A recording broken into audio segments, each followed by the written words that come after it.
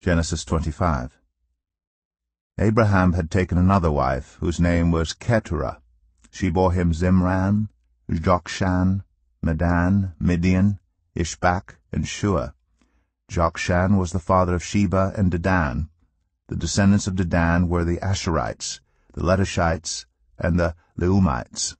The sons of Midian were Ephah, Epher, Hanok, Abida, and Eldaah. All these were descendants of Keturah. Abraham left everything he owned to Isaac, but while he was still living, he gave gifts to the sons of his concubines, and sent them away from his son Isaac to the land of the east. Abraham lived a hundred and seventy-five years. Then Abraham breathed his last and died at a good old age, an old man and full of years, and he was gathered to his people.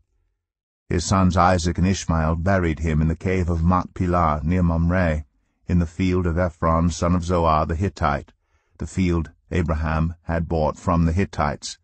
There Abraham was buried with his wife Sarah. After Abraham's death, God blessed his son Isaac, who then lived near Beer Lahai Roi. This is the account of the family line of Abraham's son Ishmael whom Sarah's slave Hagar the Egyptian bore to Abraham. These are the names of the sons of Ishmael, listed in the order of their birth.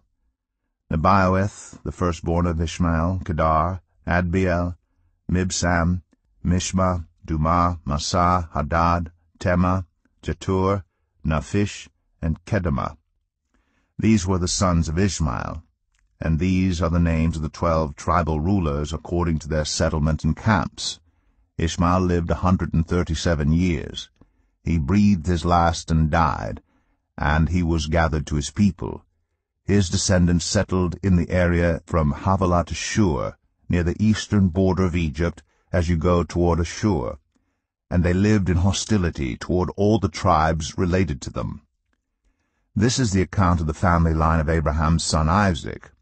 Abraham became the father of Isaac, and Isaac was forty years old when he married Rebekah, daughter of Bethuel, the Aramean from Paddan Aram, and sister of Laban the Aramean. Isaac prayed to the Lord on behalf of his wife because she was childless. The Lord answered his prayer, and his wife Rebekah became pregnant. The babies jostled each other within her, and she said, Why is this happening to me? So she went to inquire of the Lord. The Lord said to her, Two nations are in your womb, and two peoples from within you will be separated. One people will be stronger than the other, and the older will serve the younger. When the time came for her to give birth, there were twin boys in her womb. The first to come out was red, and his whole body was like a hairy garment. So they named him Esau. After this his brother came out, with his hand grasping Esau's heel. So he was named Jacob. Isaac was sixty years old when Rebekah gave birth to them. The boys grew up, and Esau became a skilful hunter, a man of the open country, while Jacob was content to stay at home among the tents.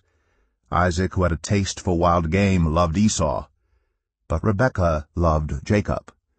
Once when Jacob was cooking some stew, Esau came in from the open country, famished. He said to Jacob, Quick, let me have some of that red stew. I'm famished.